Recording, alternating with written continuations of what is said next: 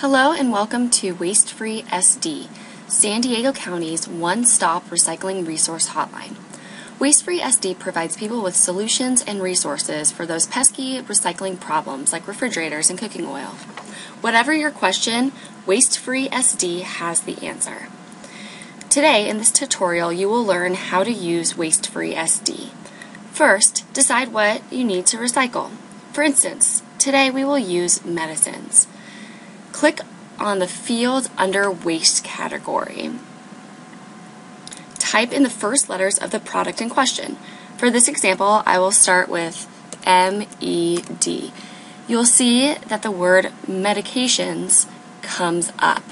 Go ahead and click on medications.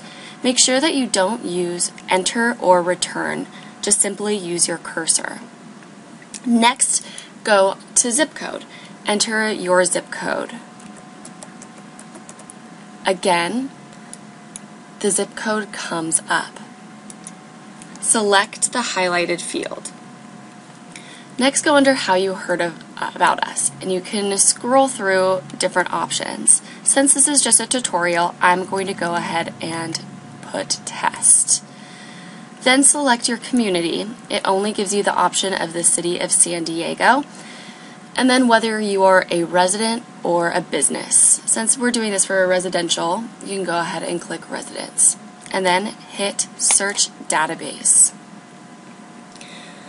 The next screen that will pop up is a list of all of the places in which you can recycle these medications. If you're interested in seeing a, a map view, go ahead and click map view.